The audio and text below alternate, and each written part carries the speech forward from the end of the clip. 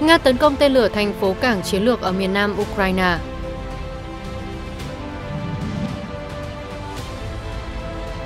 Nga bắn rơi Su-25 và 31 UAV Ukraine trong 24 giờ.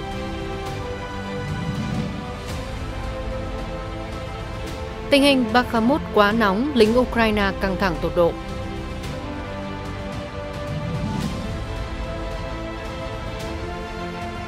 Máy bay ném bom chiến lược của Nga áp sát Nhật Bản.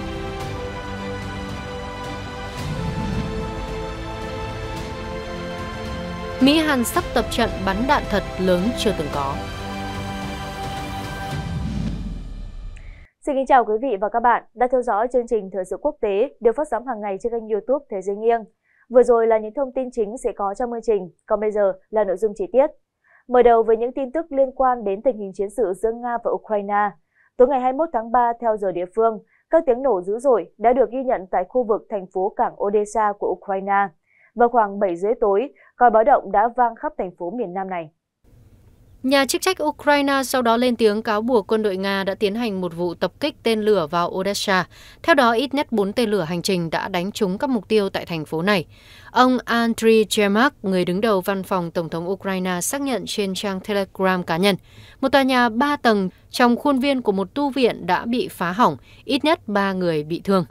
Không quân Ukraine tuyên bố đã bắn hạ ít nhất hai tên lửa KH-59 được phóng từ các tiêm kích Su-35 của Nga. Tuyên bố trên viết, vào khoảng 7 giờ 40 phút ngày 21 tháng 3, lực lượng phòng không từ Bộ Tư lệnh tác chiến phía Nam đã bắn hạ hai tên lửa KH-59 phóng từ các tiêm kích Su-35 của Nga trên không phận Biển Đen. Thương vong và thiệt hại chi tiết của vụ tập kích tối 21 tháng 3 tại Odessa hiện đang được nhà chức trách khẩn trương thống kê. Vụ tập kích này diễn ra trong bối cảnh Thủ tướng Nhật Bản Fumio Kishida đang có chuyến thăm tới thủ đô Kiev của Ukraine. Bộ Quốc phòng Nga hiện chưa lên tiếng bình luận về thông tin trên. Cùng thời điểm này, Bộ Quốc phòng Nga cho biết đã bắn rơi chiến đấu cơ Su-25 ở Donetsk, 31 UAV Ukraine, đồng thời phá hủy khí tài ở 107 khu vực. Cụ thể, ở hướng Kupiansk, hỏa lực và pháo bi Nga đã nhắm vào nhân lực và thiết bị của Ukraine gần vùng Kharkov và vùng Lugansk. Kết quả là có 80 quân nhân Ukraine, 3 xe chiến đấu bọc thép và một khẩu lựu pháo D-20 của họ bị phá hủy. Ở hướng Krasny Liman, pháo binh Nga và các hệ thống súng phun lửa hạng nặng đã tấn công các đơn vị của lực lượng vũ trang Ukraine gần các khu định cư vùng Donetsk. Có tới 60 binh sĩ Ukraine, hai xe chiến đấu bọc thép và pháo D-20, D-30 đã bị vô hiệu hóa theo hướng này trong ngày. Ở hướng Donetsk, lực lượng Nga đã loại bỏ tới 160 binh sĩ Ukraine, 3 xe chiến đấu bọc thép, 4 xe cơ giới và một khẩu lựu pháo D-20 của họ. Ở các hướng Nam Donetsk và Zaporizhia, lực lượng Nga đã dội hỏa lực vào các đơn vị Ukraine ở gần Vuhedra, Donetsk và vùng Zaporizhia. Tổn thất của Ukraine lên tới hơn 30 binh lính, hai xe bán tải cũng như một khẩu lựu pháo D-30. Ở hướng Kherson trong ngày, Nga đã vô hiệu hóa hơn 40 binh sĩ Ukraine, 3 xe cơ giới, 2 pháo tự hành Akashia và một hệ thống pháo M777 do Mỹ sản xuất. Các lực lượng Nga đã giao chiến với 95 đơn vị pháo binh Ukraine tại các vị trí hỏa lực, nhắm vào các nhân lực và khí tài quân sự của họ ở 107 khu vực. Ngoài ra, ba trạm radar phản pháo ANTPQ-37 do Mỹ sản xuất đã bị phá hủy gần Donetsk, vùng Zaporizhia và vùng Kherson. Máy bay chiến đấu của lực lượng hàng không vũ trụ Nga đã bắn hạ một máy bay Su-25 của không quân Ukraine trong một chiến dịch trên không gần khu vực Donetsk. Trong khi đó, lực lượng lính đánh thuê Wagner của Nga đã vượt sông Bakhmutka thành công với sự hỗ trợ hỏa lực của cụm xe tăng T-80. Họ đã thiết lập được đầu cầu vững chắc ở khu chợ trung tâm và một số vị trí khác, đồng thời kiểm soát các trục đường chính ở một số khu vực của phòng tuyến phía Bắc. Ngoài ra, quân đội Nga còn cho biết quân Ukraine đã thất bại trong việc chiếm lại một chốt hỏa lực, nhưng cả hai bên đều chịu thương vong nặng nề trong lúc giao tranh. Ông Yevgeny Prigozhin, chủ tịch công ty lính đánh thuê Wagner, Wagner MPC, tuyên bố rằng quân Wagner của ông đã tràn ngập hoàn toàn khu vực phía đông Bakhmut. Ông lưu ý rằng hiện 60% diện tích Bakhmut dưới sự kiểm soát của quân Wagner. Trước đó, ông chủ Prigozhin của Wagner cũng đưa tin quân đội Ukraine có 110.000 thương vong ở Bakhmut. Trong khi đó, ông Pusilin, người đứng đầu Cộng hòa Donetsk tự xưng cho biết, lính đánh thuê Nga đã tiếp tục đánh chiếm thành công một cứ điểm của nhà máy chế biến kim loại màu Bakhmut, Azov, đánh bật quân Ukraine ở phía Bắc và phía Nam trong cuộc tấn công. Về phía Ukraine, quân đội nước này cũng thông tin rằng các trận địa tiền tiêu của họ đang ngày càng trở thành mục tiêu tấn công của vũ khí phương Tây. Có thể thấy đây là những vũ khí chiến lợi phẩm mà quân đội Nga thu được. Trong bối cảnh bị khép vòng vây tại Bakhmut và các khu vực lân cận, quân đội Ukraine đã tiến hành sơ tán khẩn cấp dân thường và khỏi Chasovya. Trong một diễn biến nóng khác, Bộ Quốc phòng Nga mới đây đã công bố video ghi lại hoạt động chiến đấu của các kíp xe pháo tự hành HS-19 MS-DAES của quân khu phía Tây, bề gãy một cuộc tấn công của lực lượng vũ trang Ukraine trên hướng Zaporizhia. Một đơn vị chiến thuật cấp đại đội của lực lượng vũ trang Ukraine sử dụng xe thiết giáp của NATO tiến hành cuộc tấn công vào khu vực Zaporizhia. Các phương tiện trinh sát của quân đội Nga đã kịp thời phát hiện hướng tấn công và lực lượng pháo binh quân đội Nga triển khai hỏa lực đánh chặn. Hỏa lực dữ dội của các kíp xe pháo tự hành 2S-19 Mazda S đã bẻ gãy cuộc tấn công của đơn vị bộ binh cơ giới quân đội Ukraine sử dụng các xe thiết giáp M113 của Mỹ và IPR-765 của Hà Lan. Hỏa lực pháo binh Nga đẩy lùi cuộc tấn công, cuối cùng phá hủy một số xe thiết giáp của đối phương. Trong quá trình thực hiện các nhiệm vụ chiến đấu, các xe pháo tự hành Mazda S sử dụng các loại đạn phân mảnh có sức nổ mạnh và đạn dẫn đường laser bán chủ động Krasnopol gây tổn thất lớn cho các phương tiện chiến đấu và nhân lực quân đội Ukraine. Trong bối cảnh đó, theo The Economist, Ukraine đang đặt vượt vào máy bay không người lái để tấn công sâu vào lãnh thổ Nga. Ukraine cho rằng Việc phương Tây đang lưỡng lự về đạn dược tầm xa, máy bay không người lái đưa ra một phương pháp thay thế. Vào ngày 28 tháng 2, bầu trời xanh Petersburg, thành phố thứ hai của Nga, vang lên âm thanh của máy bay không người lái thù địch. Ngay sau đó, thành phố đã áp đặt vùng cấm bay 200 km xung quanh các sân bay của thành phố. Tại Krasnodar ở phía nam, một kho chứa dầu bốc cháy, máy bay không người lái đã đến vùng Belgorod và Bryan, nơi có chung biên giới với Ukraine. Một chiếc thậm chí đã đến gần Moscow cách thủ đô chưa đầy 100 km.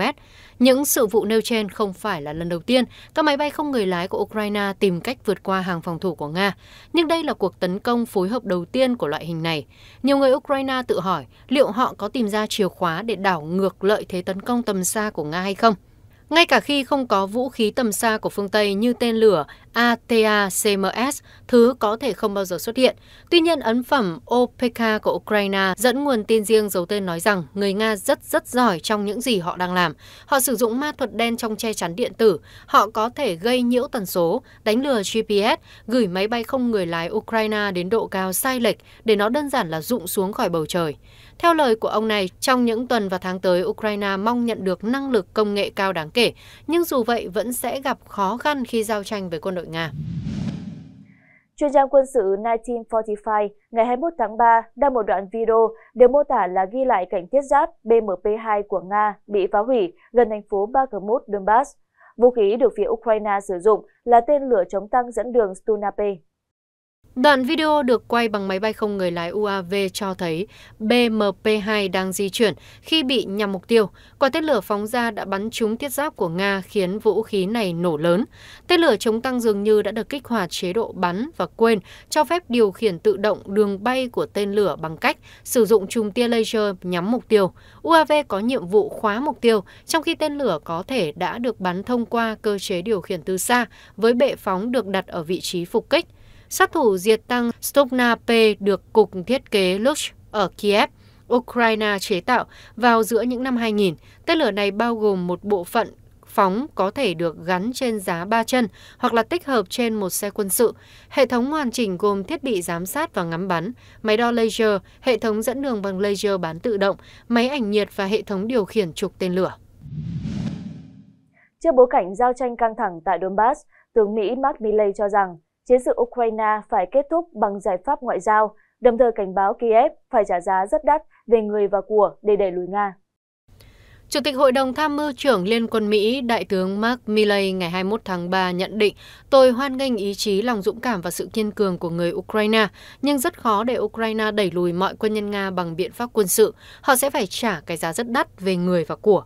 Tướng Milley tin rằng các nhà ngoại giao từ nhiều quốc gia sẽ là những người chấm dứt chiến sự Nga-Ukraine, tìm ra cách để hai nước quay trở lại bàn đàm phán. Ông cho biết tới lúc nào đó mọi người sẽ nhận ra rằng cái giá để tiếp tục đạt mục tiêu bằng biện pháp quân sự là thách thức rất lớn. Tướng Milley đưa ra bình luận trong bối cảnh một số quốc gia đang thúc đẩy các cuộc đàm phán hòa bình giữa Nga và Ukraine. Trong những tuần qua, Trung Quốc nêu đề xuất hòa bình cho xung đột Nga-Ukraine, song Nhà Trắng cho rằng điều này có lợi cho Moscow. Trong khi đó, giao tranh dữ dội giữa lực lượng Nga và Ukraine tại vùng Donbass tiếp tục diễn ra, đặc biệt tại khu vực thành phố Bakhmut thuộc tỉnh Donetsk. Ukraine tuyên bố điều quân tăng viện và quyết giữ Ba Bakhmut. Phía Nga thông báo đã kiểm soát khoảng 70% diện tích thành phố. Giới chuyên gia phương Tây cho rằng Ukraine có thể mở cuộc phản công trong tương lai gần, song đang đối mặt với nhiệm vụ khó khăn là cầm cự trước những đợt tiến công liên tục của lực lượng Nga với ưu thế vượt trội về khí tài và quân số. Họ cũng nhận định Ukraine phải cầm cự đủ lâu và ngăn Nga kiểm soát thêm lãnh thổ trước khi nhận được loạt khí tài tiên tiến mới của phương Tây, trong đó có xe tăng chủ lực, xe chiến đấu bộ binh binh và các loại pháo. Trong cuộc họp báo chung với Tổng thống Volodymyr Zelensky hôm 21 tháng 3 tại thủ đô Kiev, Thủ tướng Nhật Bản Fumio Kishida đã công bố gói viện trợ trị giá 500 triệu đô la Mỹ cho Ukraine. Trong đó, 30 triệu đô la Mỹ sẽ được sử dụng để mua vũ khí không sát thương cho Kiev thông qua một quỹ tín khác của NATO. Khoản tiền 470 triệu đô la Mỹ còn lại sẽ hỗ trợ khôi phục hệ thống năng lượng và công nghiệp của Kiev. Trước buổi họp báo chung, Thủ tướng Nhật đã có cuộc hội đàm được đánh giá là hiệu quả với Tổng thống Zelensky. Theo văn phòng Tổng thống Ukraine, hai nhà lãnh đạo đã thảo luận về việc tăng cường các biện pháp trừng phạt nhằm vào Nga. Tổng thống Zelensky cho biết Nhật Bản đã công bố 18 gói trừng phạt nhằm vào Nga. Những gói trừng phạt trong thời gian tới sẽ tiếp tục nỗ lực khôi phục an ninh toàn cầu và giảm thiểu nguy cơ gây hấn từ Nga. Các biện pháp trừng phạt này cần phải hiệu quả và nhanh hơn khả năng thích ứng của Nga. Bên cạnh đó, Thủ tướng Kishida và Tổng thống Zelensky cũng trao đổi về kế hoạch tái thiết Ukraine hậu xung đột. Tổng thống Ukraine nói thêm, Hôm nay, tôi đã đề nghị Nhật Bản hỗ trợ chúng tôi khôi phục hệ thống y tế và một số ngành nghề kinh tế, bao gồm công nghiệp chế tạo máy, chuyển đổi xanh, cụ thể là sản xuất thiết bị hydrogen và pin lithium. Đây là những ngành công nghiệp mà Nhật Bản đang dẫn đầu thế giới. Ông Zelensky cũng cảm ơn Nhật Bản vì nỗ lực hợp tác trong việc đề ra công thức hòa bình cho Ukraine. Văn phòng Tổng thống Ukraine trước đó đã gọi công thức này là kế hoạch toàn diện và thực tế duy nhất để chấm dứt xung đột. Đáp lại, Thủ tướng Nhật Bản bày tỏ sự cảm thông với Ukraine, đồng thời khẳng định Nhật Bản sẽ tiếp tục hỗ trợ hết sức để giúp Ukraine sớm giành lại hòa bình. Chuyển qua các tin đáng chú ý khác, Bộ Quốc phòng Nga ngày 21 tháng 3 cho biết hai máy bay ném bom chiến lược của nước này đã bay qua biển Nhật Bản trong hơn 7 giờ giữa lúc Thủ tướng Nhật Bản thăm Ukraine. Moscow cho hay các máy bay ném bom chiến lược này đã thực hiện chuyến bay theo kế hoạch và được hộ tống bởi các máy bay chiến đấu.